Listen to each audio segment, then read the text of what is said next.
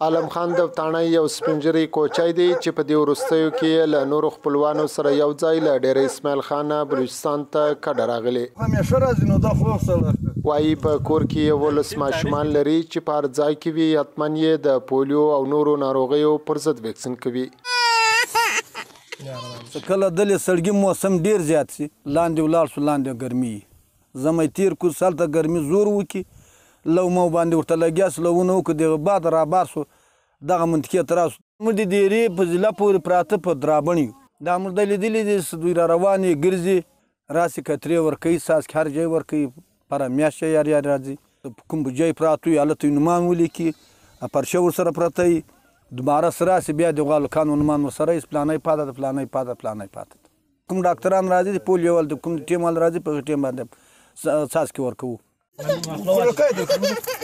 کوچی یا کډوال د پولیو وایرس له پلوه حساسه یا های ریسک ګڼل کیږي. سبا ستا بچی ناجوړ شي یا په پښه معذوري یا په لاس ګوډي. په بلوچستان کې د پولیو ویکسین مسؤلین وايي چې د کمپین په لومړیو ورځو کې کډوال ماشومان ویکسین کیږي ځکه هغه له یوه ځایه بلې ته کډه کوي. د کډوال ماشومانو ویکسین په ډیره منظمه طریقه کیږي. دا های ریسک موبایل پاپولیشن دی دا خلګ په پښتو کي یا کوچیان یا کډوال ورته یای نو دا خلګ د پنجاب یا د درابڼ د دا سایډه زارازی دلته سیزنل دی چی کوم ودوی ته یو قسم ویل کاږی چی دوی د وایرس کیریرز دی نو دوی وایرس له یوه ځایه ځاخه په دوی کی ډیر زیات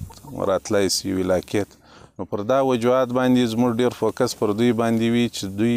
وايرس يا يو ځای ته بل ځای ته نه سيو يا د دې ځای وايرس دوی پر مخ نه سيو نو کوشش دا وي چي د دوی بچيان ويکسينيټ سي نو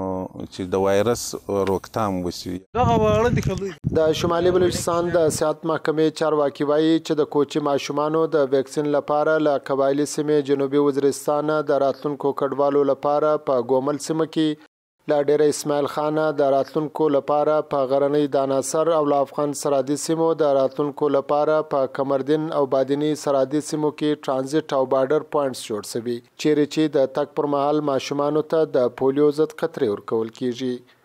رفیع الله مندوخیل، وایس اف امریکا، ډیوه کوټه.